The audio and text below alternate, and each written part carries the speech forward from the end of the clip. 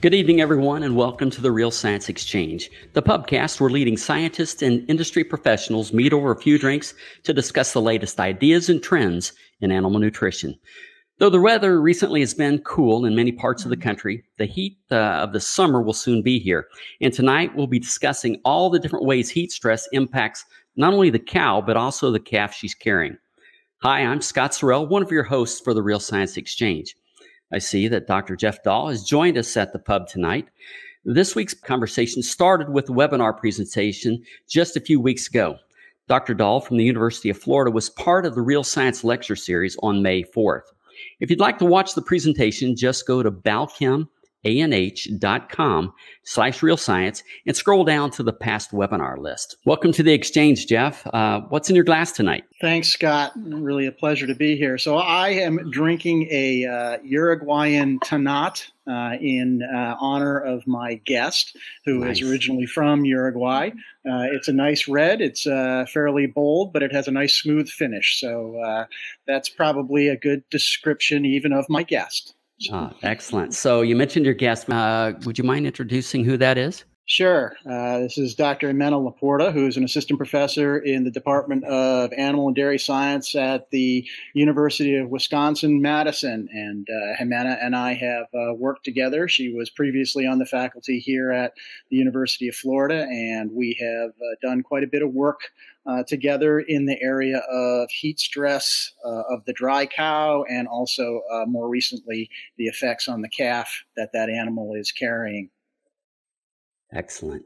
Uh, Jimena, uh, welcome to the Real Science Exchange. Um, what are you drinking tonight first? And then can you tell us a story about uh, your, your time working with Geoff?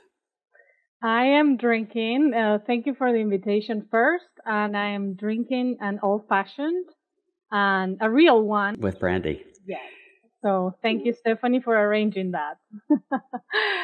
Um, a story about Geoff. I don't know where to start. I have so many, but they're all great. Uh, it's been a real pleasure working with him. Um, I, I knew Geoff, uh, just being a lactation biologist, you know, he's working the photo period and everything. And in 2014, he actually hired me at the University of Florida. So we started working together, uh, in the heat stress, uh, research and it's been a real pleasure. We have shared, you know, we shared a lab, we shared postdocs, students, and it's been really fun. Uh, I think um, our most interesting aspect is that we get along really well. We have kind of the same sense of humor in a way that not a lot of people get. We also uh, have fun, so that's that's really important. Well, excellent. Well, glad to have you here tonight. And I'll, I'll, say the old fashioned seems to be the popular order here, usually here at the Real Science Exchange. Dr. Zimmerman, our trusty co host, is back with us. Clay, now that summer's almost here, um, you having anything different in your glass? I actually am. I'm, I have a hard cider, but in honor of the warm weather, it's a watermelon cider. Watermelon cider, okay. So, if if this bottle's empty by the end, you'll know it was good. Excellent. I'm expecting maybe a, a, milkshake one of these days. Does Does Angry Orchard make a milkshake? I don't know. I don't know. Scott, yeah. what are you drinking tonight? Oh, thanks for asking, Clay. I've got something very unique. I, have I've, I've dispensed with the bourbon this time. Uh, I'm drinking a red beer in honor of uh, my brother Rex, who was working at the Beartooth Ranch in Montana. I went out to visit him one time, and he introduced me to to red beer. This this particular one is made by Bud Light, and it's called Chelada. So it's it's very interesting. Uh, would recommend it if you ever get a chance. It's basically beer mixed with uh, tomato juice, believe it or not. So quite tasty and, and a bit summery. So there you go. I do recommend the Uruguayan Tannat that Geoff is having. It's really, really good. So. It's a good one. We'll have to we'll have to take that down then. Excellent. We'll put it in the show notes so everybody can get it. So excellent. Geoff, let, us get started by, by defining heat stress. What point does it start impacting the animal's health and performance? I mean, cows, just like every other animal, has a, a, sort of a thermal comfort zone, right? That's a range of temperatures where they're comfortable. And if you go too low, they're going to be cold stressed. If you get above that, they're going to be heat stressed. Um, typically, we don't use absolute temperature uh, as an indicator because there are other factors that are going to influence the um, ability of an environment to cause heat stress, particularly humidity. And I bring that up just because I live in a hot and humid environment. And a matter of fact, in the summer in Florida, it won't get as hot as it might in a lot of the continental U.S. You get much hotter than we do in absolute temperature. But the killer for us is the humidity. And so when you combine the temperature and the humidity, what has uh, evolved is a temperature humidity index. And typically for lactating cows, we tend to think that as about 68. If we move above a temperature humidity index of 68, um, those cows are going to start to experience heat stress. Um, dry cows, we had been using that number, but we've got some uh, new information that suggests that it might be a little higher than that, which makes sense because those cows are going to be consuming less feed. There's less heat of nutrient metabolism. They're just producing less heat, so they've they've got an easier time um, to a certain extent with their uh, environment. But we have to always remember that you know dry cows do get heat stressed and they will do things like reduce their intake and they will have some pretty profound negative impacts on their next lactation but also on the calf. Hmm. so, so that uh, phi that Geoff was talking uh, about for dry cows it's uh, 77 according to our calculations. So quite different from lactating cows we've also done some work in calves and uh, those uh, breaking points are even lower. They're about 66, 67 for respiration rate and rectal temperature for the calves. So that's some interesting work that we have been doing in, in Florida. So it's very interesting. In terms of in terms of when they're going to be heat stressed, um, you can take a temperature, you can do rectal temperatures. We have sort of looked at respiration rate as our indicator and um, across a number of studies now, and this is with dry cows, if they get above 61 for a respiration rate, they're heat stressed. And the more that increases, the more severe the heat stress is that those animals are under. But it's actually not a it's not a real high respiration rate. You can certainly walk into a lot of barns and see cows at that respiration rate. So they will get heat stressed at a fairly low sort of temperature and humidity. So, how good of a uh, an indicator is rectal temperature? I recall that you you you mentioned that in some of your research. Can they be heat stressed and still not show an elevation in rectal temps? Um, usually, there'll be some. It's whether you can discriminate it or not, and you know that's one of the reasons why, at least from from my perspective, on the farm when I'm just walking around pens I think I'd rather use something like respiration rate because I can do it without bothering the cows. And we know that if we get them up moving around, even the tamest of cows, when we go to take a rectal temperature, they're going to jump up and move around, and that can mm-hmm. sort of influence their their temperature as well. So I, I just like to be able to observe a group of cows and rather than taking a rectal temperature, use that respiration rate to give me an indication of how hot they might be. So that's mm-hmm. kind of uh, the the type of work that we have been doing recently to try to estimate uh, the, mm-hmm. the, heat stress uh, indicators, environmental indicators, and animal-based indicators uh, that don't require, you know, getting in contact with the animal and trying to figure out a way, an easy way, and more precisely determine uh, heat stress without getting in, touch, in contact with the animal. So that that's very helpful for from a producer standpoint. So that's kind of our objective with those studies. Yeah, we've Geoff? even looked at it in um, cows out on pasture, and it, it's interesting when we have cows in the barn versus out on pasture at night in the summer.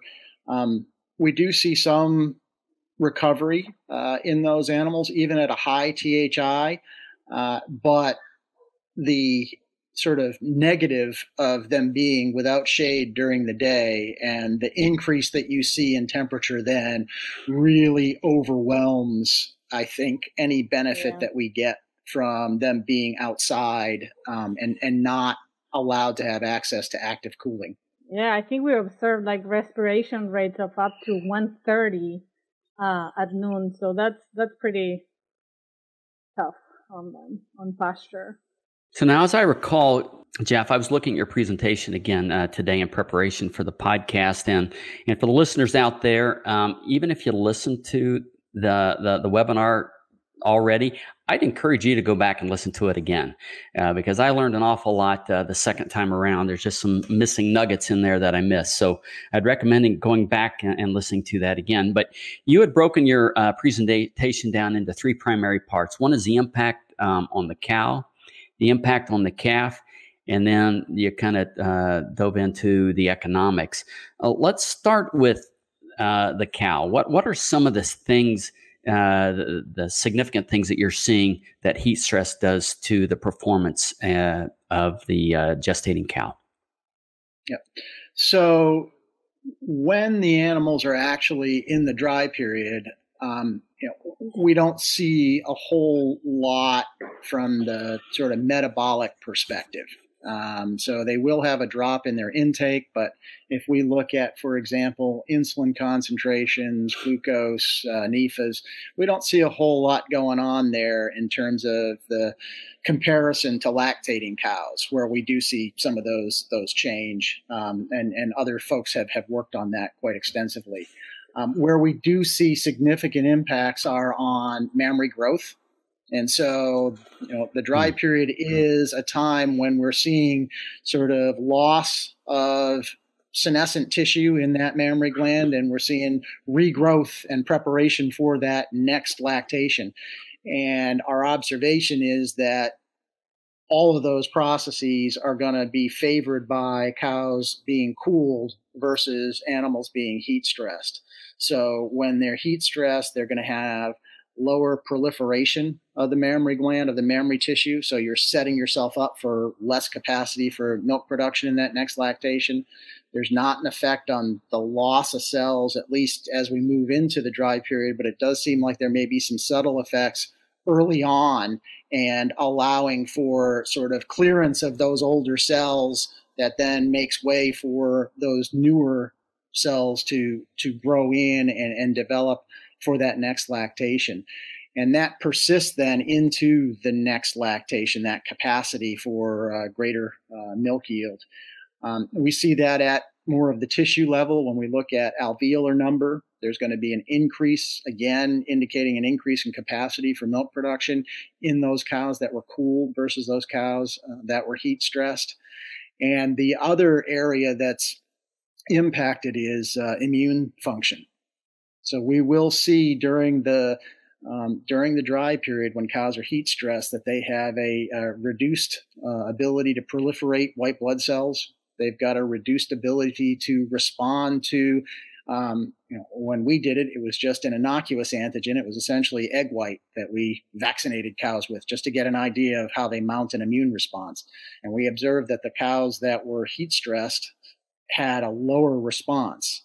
And that is important, obviously, because we do a lot of vaccinating of dry cows. And so, if that heat stress is limiting their ability to respond, then we may be setting them up for bigger problems as they move into that next lactation. Um, a lot of the effects that we see, though, are just resultant of what was happening during the dry period, and they actually show up in that next lactation. And the cows that were um, heat stressed typically are going to produce eight 10 pounds a day less than the cows that were cooled. And that persists for the entire lactation when we followed it out. Um, it also doesn't matter, it seems, when we heat stress the cows. So we've done it early, we've done it late in the dry period. Um, they all seem to have the same sort of response that diminished capacity for milk production in the next lactation. So, Geoff, you know, I've always been surprised when you ran the study looking at when to apply the cooling during the dry period. Mm-hmm. That it has to be present the whole dry period. Can you can you maybe explain that again? Sure. Uh, so the the process of of sort of that that tissue growth, that mammary growth, um, you know, it, it's always ongoing. And when we stop essentially lactation. When we dry the cows off, that's, as I interpret it, a signal to them to go through this sort of regenerative process. And it's not just that, oh, a bunch of cells die off and then new cells appear. It's more of, we think, a sequential process where we're going to get clearance of some of those senescent cells early in the dry period, which then sort of sets the foundation for increased proliferation as the dry period advances. And then eventually we're going to get them to be sort of stimulated um, when they go through lactogenesis to produce milk. And so when cows are heat stressed, there's going to be effects on that early response. So during the involution sort of period. During involution, exactly. And so that's going to be diminished with heat stress it's not as you can think of it as you know they don't have as uh, as aggressive of period of involution, but that then delays that proliferation later down the road. And I think that's why we see the responses that we did. We're we're if we don't have both of those in play, you won't realize the sort of positive in that next lactation. When you look in the next next lactation, they indeed have, as Geoff mentioned, less alveoli, which is the secretory unit of the mammary gland, and those alveoli have less secretory cells, so they just produce less milk. They have less synthetic capacity. So you're setting off that cow for a bad lactation. So, Dr. Laporta, can you expound on that? Are they able to, to regrow that the, the the alveoli or the epithelial tissue for subsequent lactations, or will that impact them mm. for future lactations? We know yet? So for the for the next lactation after the the heat stress during the dry period, they are not able. We do not know in subsequent lactations of the of the dam, uh, but we do know uh, that in the offspring it affects for multiple lactations. But for the dam under heat stress during the dry period, we do know that the first lactation is impacted, but we haven't been able to test multiple lactations. We tried, but uh, we we just don't don't have that data.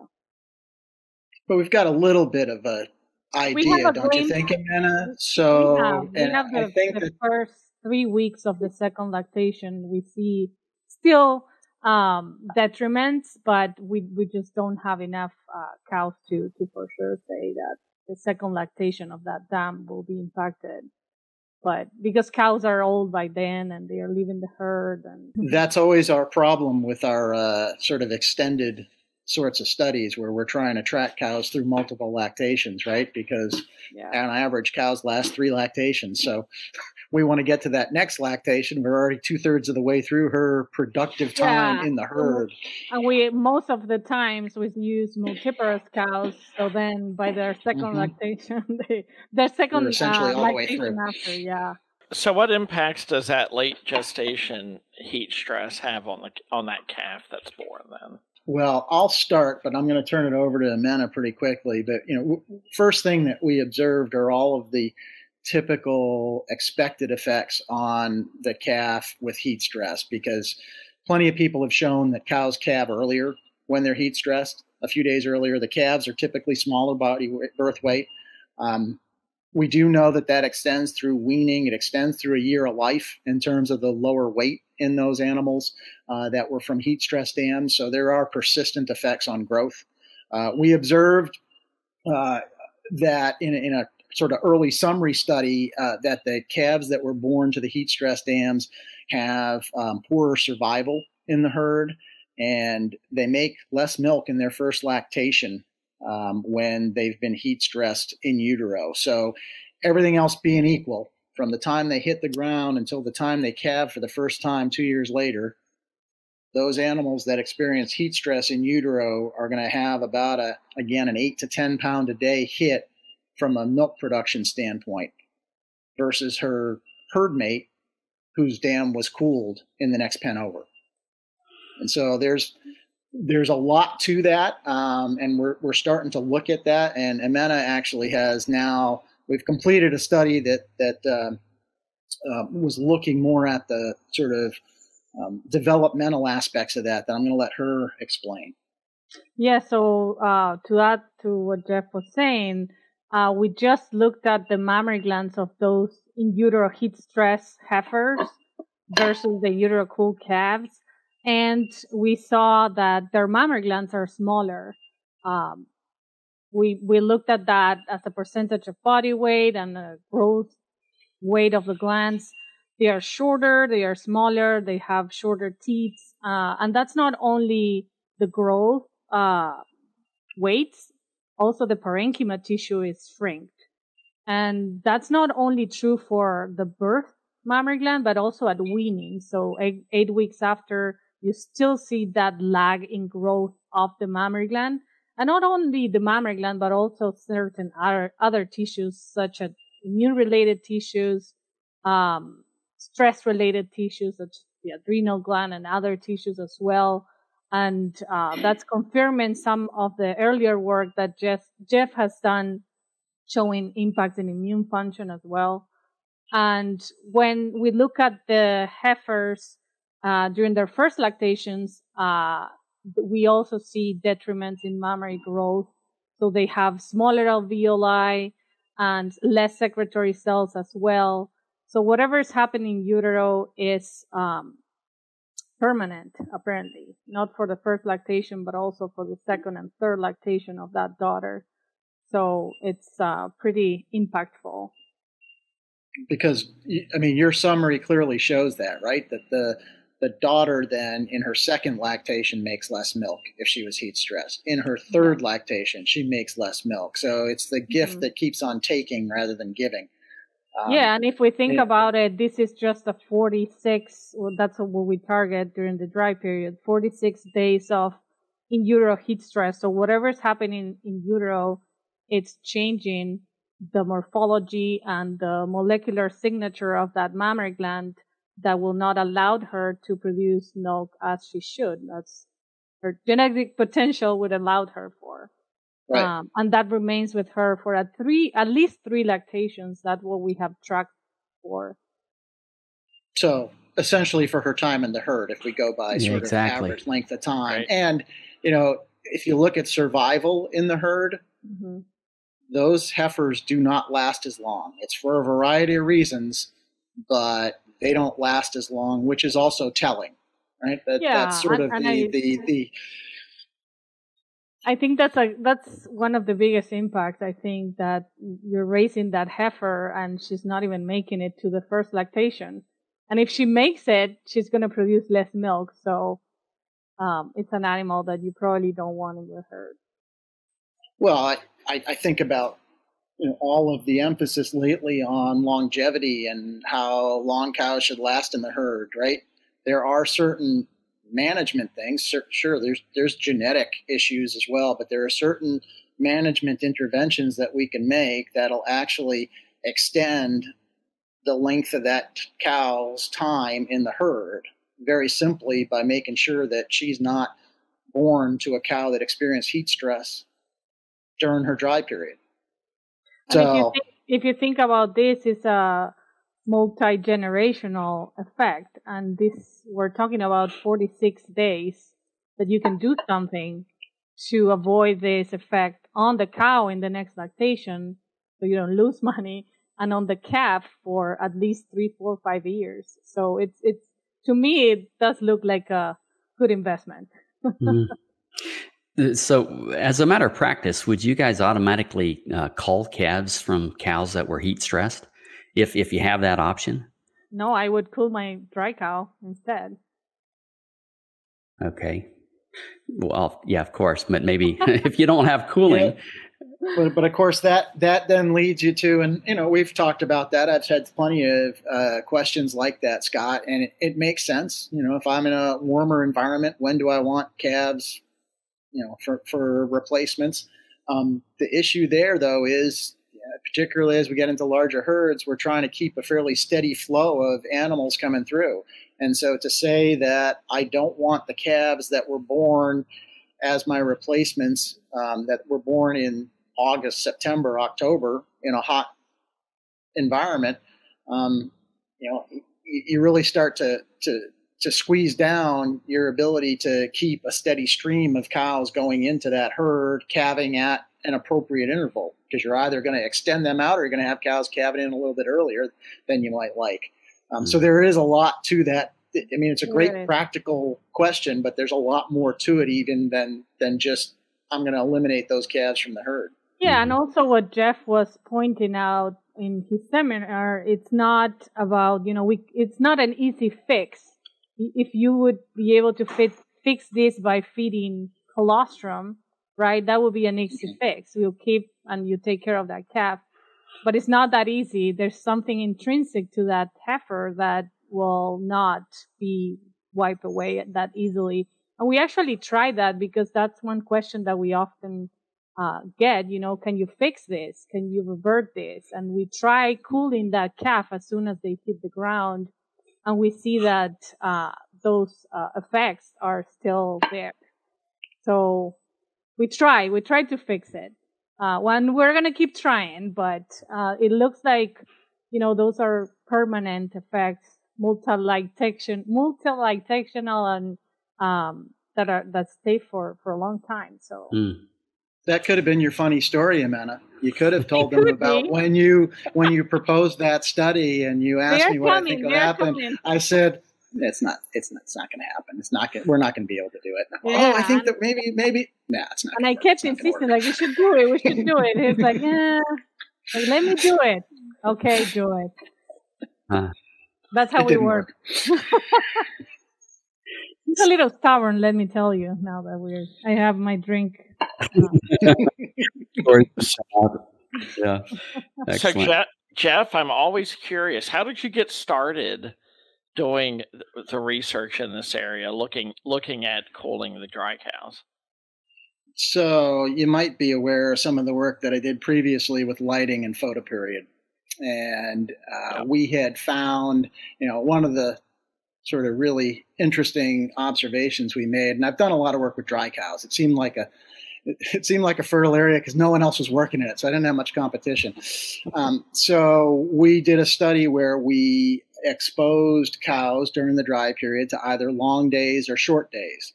And by that, I mean long days, 16 hours of light, eight hours of darkness, the typical photo period we'd have them on for lactation. And then the cows that were in the short days were on eight hours of light, 16 hours of darkness. Real easy to do that in dry cows because you don't have to milk them twice a day and have light exposure and that type of thing. Yeah. And it was pretty shocking uh, when you know, we started summarizing the data from that first experiment because I had expected the animals that were on long days for a number of reasons to actually do better as they went into that next lactation. But it was it was crystal clear that the cows that were on short days made more milk from the start of lactation, and just like with the heat stress effect, it persists. So we followed that up and looked at you know various aspects of metabolism, mammary development, that type of thing, um, and showed that those animals had improved mammary growth. And you know the one thing that sort of ties lighting and temperature together is prolactin. So prolactin will increase when animals are on long days. It increases with high temperatures. And while prolactin, you know, when you think about the name, you'd think, oh, well, that would be good. Um, every hormone has a receptor. And so as that increases, what we find is that prolactin sensitivity decreases because the receptor goes down. So long story short, because the sort of mechanisms I thought would might be similar, when I moved to Florida, it was a natural progression um, to start looking at aspects of heat stress in the dry period, just like we had looked previously at, at lighting. Um, now, what is, I think, significantly different first, the prolactin effect may not be the sort of driver uh, for some of these responses, even though that's initially how we got into it. But that's how science works, right? We we kind of test a hypothesis and determine whether it's supported or not, and move on to the next study. It doesn't mean that the observations of milk production and other effects are wrong, um, but we don't see the same effects in the calves. And part of that is that we don't see the same influences of short days or long days on gestation length and on I think, placental function. Because where I really think this is all coming back to is the impact that heat stress has on placental function and how effectively that animal manages the heat stress is to a large extent related to her ability to maintain good placental function. And they just can't do it when they're profoundly heat stressed. And I think that's where we see the effects then on the cow from a mammary growth perspective, but more importantly on the calf. So a long-winded answer, Clay, to your uh, quick question, but that's kind of how it progressed. Yeah. Oh. That was a great question. I'd, I'd ask the same question of Dr. Laporta. How did you get started in uh, whether it's uh, fetal programming or studying heat stress?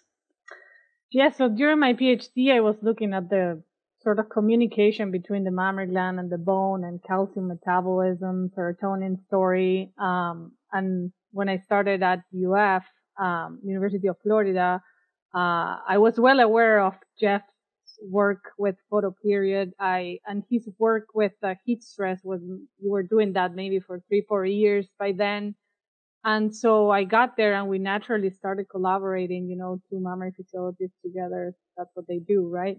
So uh, I was fascinated um, when I got there. Uh, I think um, one of your students she got uh, the very first uh, report showing uh, milk production differences in the daughter. So those in utero heat stress uh, heifers. So that was to me was fascinating. I was like, I need to go in this direction. I I want to know. I was curious. I wanted to understand why. And and so Geoff uh, and his group they had a really good model with very consistent phenotypes, and I was all in. and Geoff, you know, he we started collaborating right away and, and yeah, it just let me dig into those mammary glands and ask my own questions and here we are. so yeah. yeah. Very productive collaboration. Topic. Yeah. It, there's such a large number of questions that we want to answer that it's, it's a very fertile area mm-hmm. that we can both share. yeah. And then that led to uh, the research that you're now doing at University of Wisconsin with the fetal programming. Yeah, yeah. So actually, when I um, I moved in here, I and this is another funny story. Um, Geoff said, "Why don't you take these 40 heifers that we have?" And I said, "Are you crazy?" And yes, I have them here. I just put them in a truck, and they are here with me.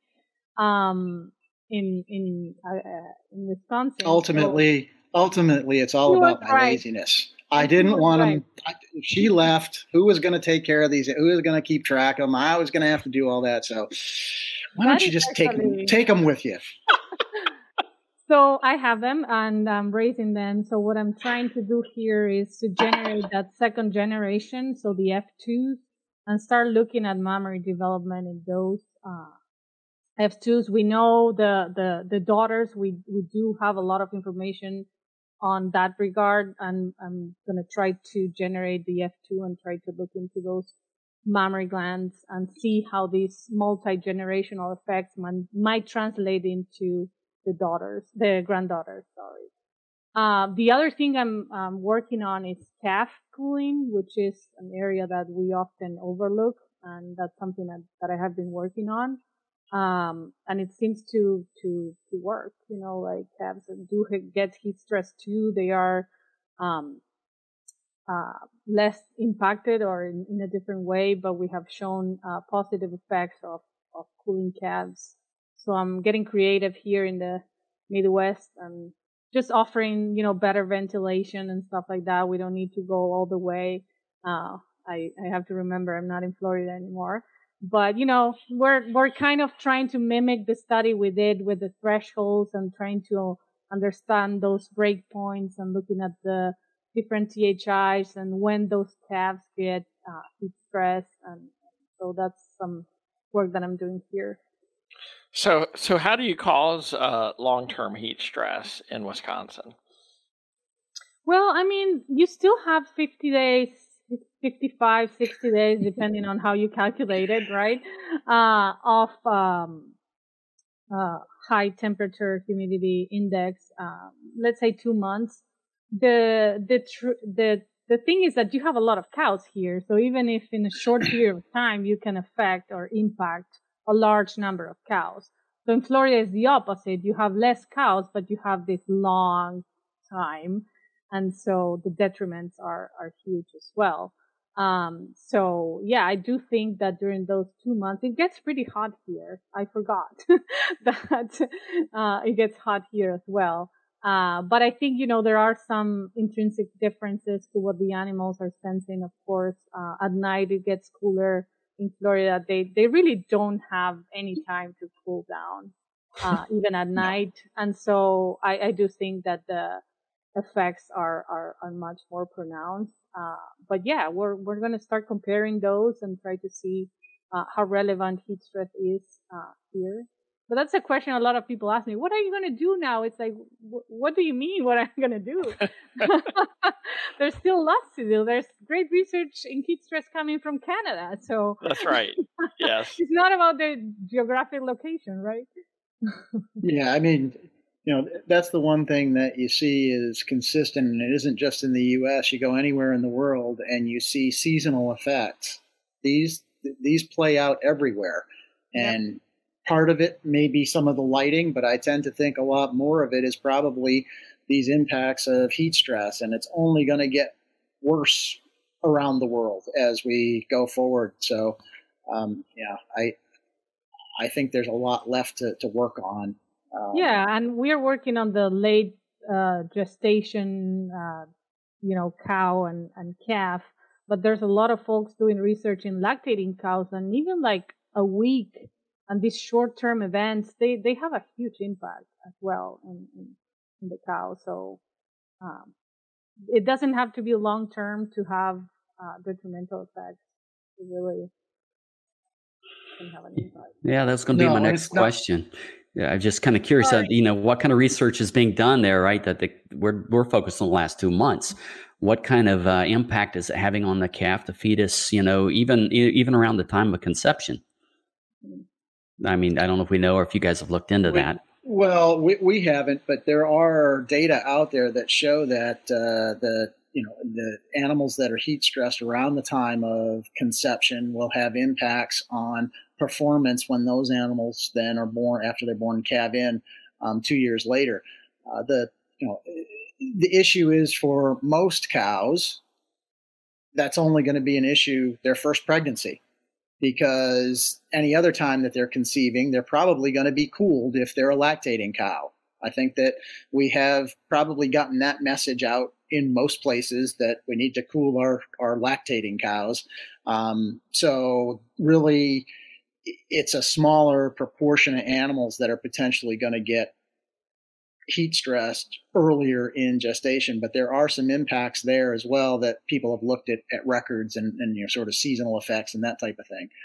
Um, those there are some other studies that have looked at um, reproductive performance based on whether animals were heat stressed in their you know first trimester second trimester third trimester and they're consistent with what we observe. It does still seem that the later we heat stress animals the worse off for that calf. So they can take it a little bit more um, earlier in development and you know you would think that that calf at six to eight weeks before it hits the ground is pretty bulletproof and she's kind of fully developed and everything is there. And now it's just you know gain, gaining some weight. Uh, pretty clear that that's not the case. And so we can have some dramatic impacts on those animals um, development and dramatic impacts for that animal's life. Yeah so like those early life experiences like we like uh, naming that now, uh, it's not just during gestation, it's all, also during the first weeks or months, you know, mm-hmm. uh, that you can impact that animal for life. So it, it's this, this, uh, transition period of the calf that it's, it, it's really important in, in setting, uh, them up for, for a good start. It's, it's not just, uh, later. It's, it's even very early on. Yeah. I, as I recall during the presentation, one of the, the, the big impacts was on the animal's immune uh, system, both the, the cow and the calf. C- can you expound, uh, one of you, on, on the impact on the immune system uh, and, and what you've learned in some of your studies? Go on, Geoff. You have done more in that area. well, I mean, the, the first aha was when we just took um, IG, IgG samples from calves first day of life through through weaning, or through a month, I guess, of life, and uh, saw just dramatic differences between the calves that had been heat stressed and the calves that had uh, come from cooled dams. So first thought was, oh well, we've we've really messed up colostrogenesis in these heat stressed cows. There's there's an impact there. Eh, not so much. So the effect on colostrogenesis is is one on volume it's not one on sort of IG content, and typically it's not one enough of one on volume that it would limit how much we have. I mean, you occasionally get those cows, but in general, it's not that much of an effect. Um, but there are certainly other factors in the colostrum that may influence their ability to take up the IG from the colostrum, and that's what we started working on. Was it an effect on the cow, or was uh, the calf, or was it an effect on the the colostrum itself. And it doesn't appear to be that when we heat stress the cow, her colostrum is impacted enough to affect the calf. But it looks like that heat stress in utero limits the amount of or the capacity for absorption of immunoglobulins. And what it appears is that those calves that are born to heat stress dams, either because they're not as mature or because it's been accelerated, their gut closure process is already ramped up when they're hmm. born. And we've got a study that'll be coming out in JDS Communications here in the next month or two that shows that that the calves that were born to the heat stress dams have a much accelerated rate of, of gut closure relative to the calves that were born to cooled dams. So the problem with that, of course, is it doesn't matter then how much colostrum we put into them. They're they, they just aren't going to be able to overcome that, and then that leads to some of the sort of downstream impacts on immune status in those animals and their ability to survive in the herd. Wow. Is there a is there a difference in in placental weight in these hmm. in these animals? Yeah. Uh, the best answer to that is yes, but it's variable. But I can tell you, we, we I think did a reasonable job of placental collection in our study last summer, and we looked at total weight. Um, maybe see some differences there. Where we really see it is in the number of cotyledons.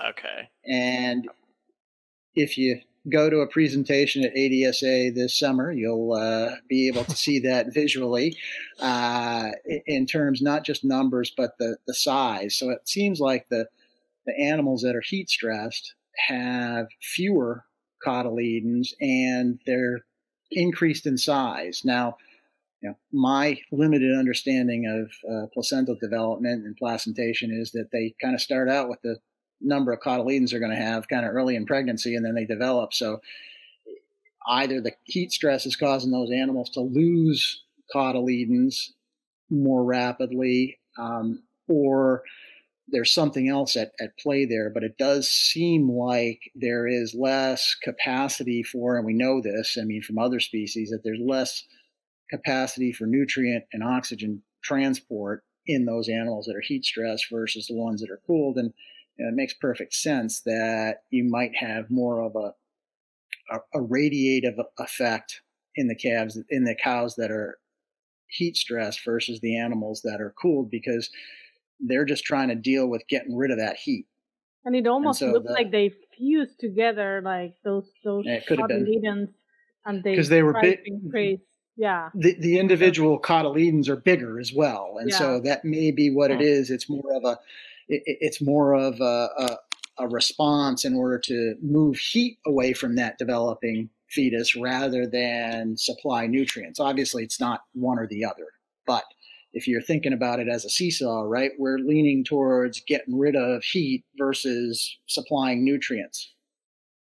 And our uh, more recent work now is going to be looking at methylation signatures of those um, mm-hmm. cotyledons and seeing um, what what they what they want to tell us, and we're going to dig into those methylation and genes. And what's what's causing the, the the shorter gestation length then?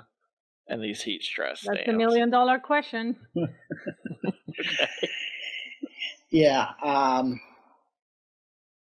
be, so it's kind of like when I said that the, you know, the gut closure. Is it because she's born a little bit less mature, or is it because we're actively sort of moving? Um, it's it's more of a, a, acceleration of maturation process, and I, I guess we we don't know um, but I would say that there's likely an interaction from both the calf side and the dam side of that heat stress. And you're probably seeing some impacts um, related to maintenance of pregnancy from the dam's perspective, but also then the calf is kind of signaling that this needs to be I'm going to take Over. my chances outside rather than in.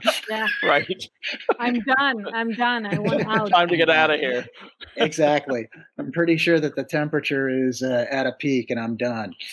And, and the other thing to add there is that um, the, the the temperature, the fetal temperature, is is pretty much controlled or uh, by the cow. Uh, the the calf have lo- no ability to control its own temperature and so it, it's it's important to keep that in mind. So if the cow is heat stressed, uh, and and it, this is hard to show in cows. Uh, we we know this from other species, goats and sheep uh, experiments that have actually tested that. So yeah, and it's one of the it's one of the features of this sort of programming effect that to me it's more of a um, a normal range insult than some of the things we can do nutritionally or otherwise because even a, a cold stress cow right? She's going to and i get that question too what about cold stress? Will that impact well i don't think cows are going to get cold stress very easily. If we're going to cold stress a cow that's pregnant she's probably got other factors that are you know she's nutritionally deficient. She's got some other things going on. And so it's more of a pathology rather than this which is kind of part and parcel of normal physiology and how that animal responds because nutritionally she's always going to favor that fetus.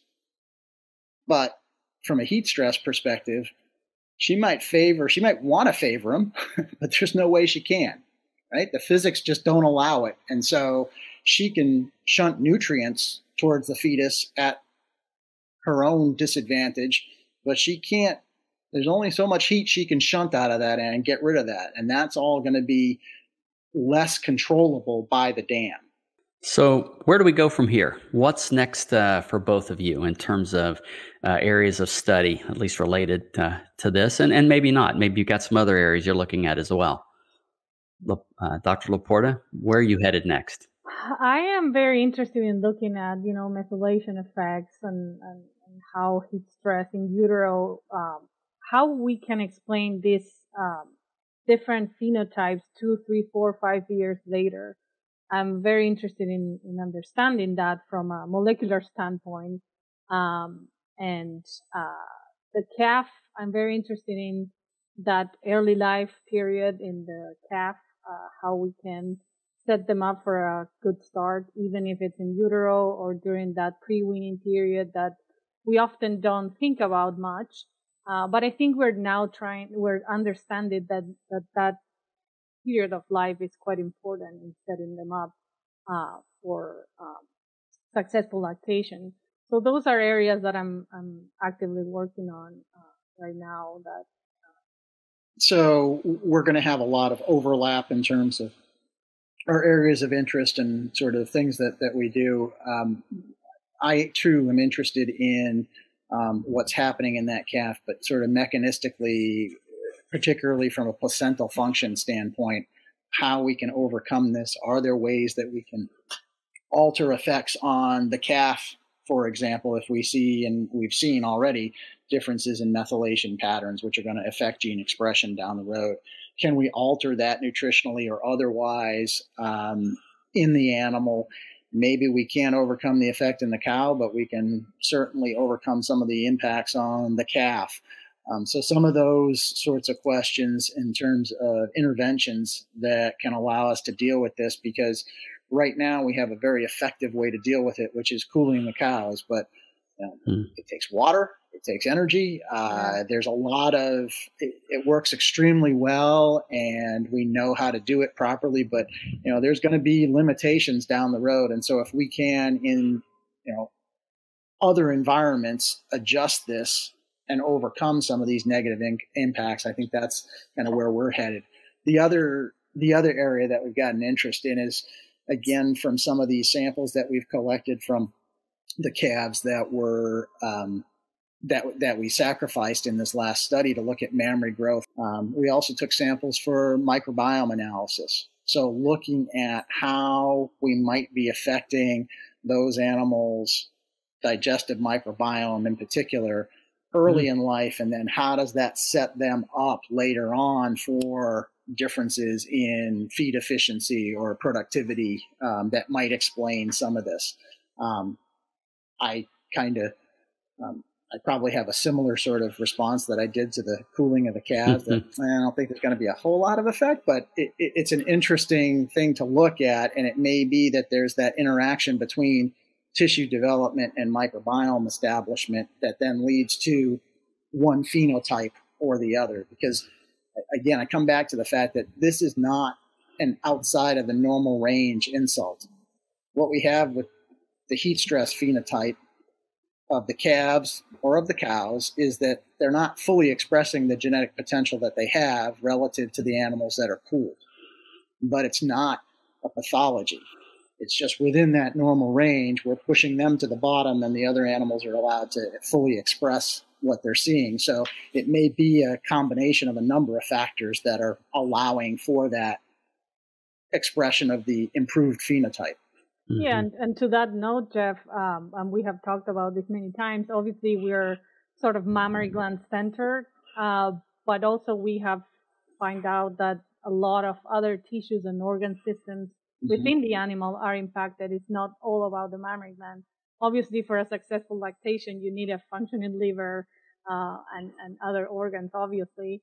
Um, so even like in these heifers that we euthanize, we see smaller adrenal glands. So there's a whole story with the HPA axis and how they regulate stress uh, in a way. And so those areas are also uh, very important. And obviously heat stress is the center, but you know other stressors. Cows are pregnant for a heck of a lot of time during their lactation. So there are many other uh, times mm-hmm. that that cow will be stressed. Uh, and I do think that it's um, it's about um, relieving those stressors to the cows. If the cows are going to produce milk, they are made for that. Uh, it's our job to try to uh, reduce those stressors and let her do what she knows how to do. So. Hmm. Excellent. You both have made a very compelling case that we need to cool those dry cows. Um, although cooling systems are not free, right? They're uh, they're they can be expensive. Uh, can you talk a little bit about the economics of, of cooling cattle and, and where does it make sense, or perhaps where it doesn't make sense? Well, I'm going to show my bias, but you know, I used to get asked when we first started doing this work. I can only cool one group of cows. I can only invest in this. Who do I cool? And for a few years, I would hedge and say, oh, probably your early lactation cows and then the dry cows. And then I've, I've come off of that completely based on some of the economic analyses that we've done, right? The, the first group of cows to, to cool are the dry cows because not only are you going to have an impact on her entire next lactation, but you're going to have an impact on the calf that she's carrying for her three first three lactations.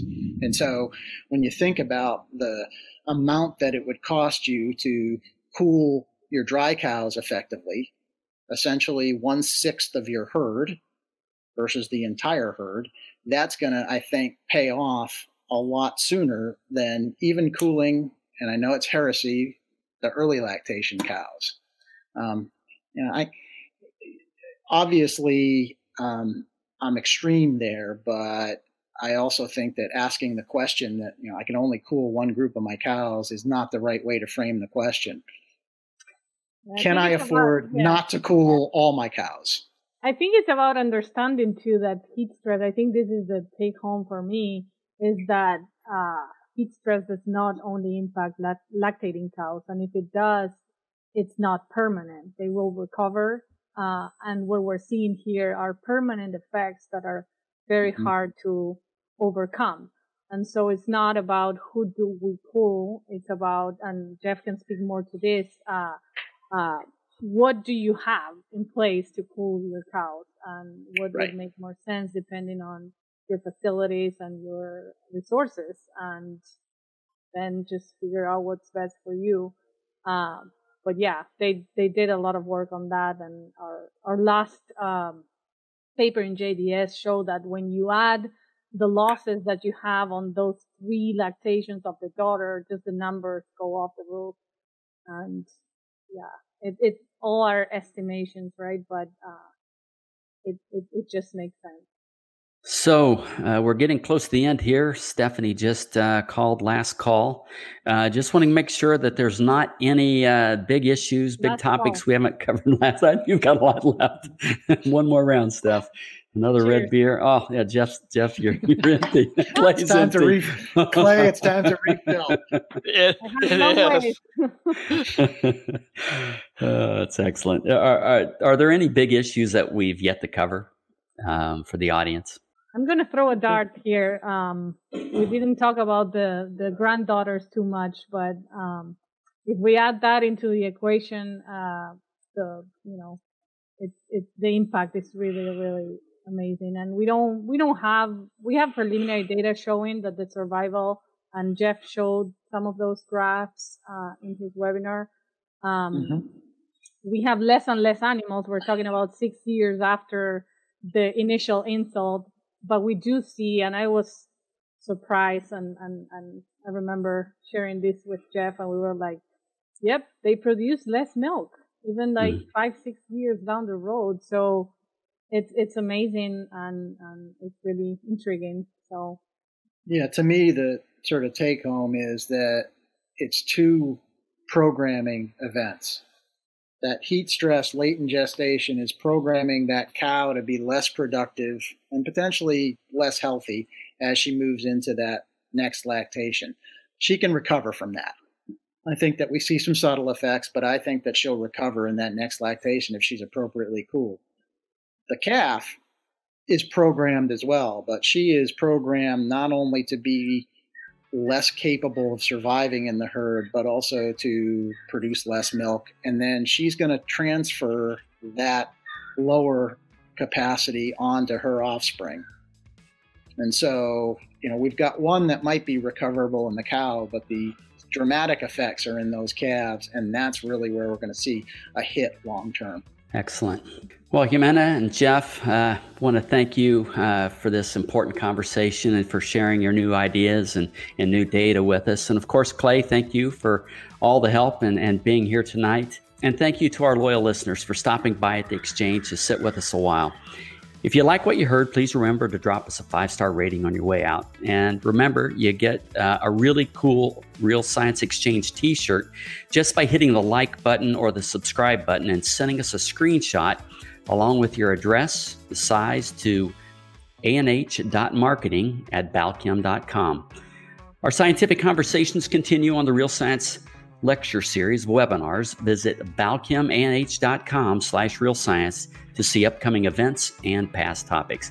We hope to see you next time here at the Real Science Exchange, where it's always happy hour and you're always among friends. Cheers, everybody. Thanks. Cheers. Thank you. Thank you.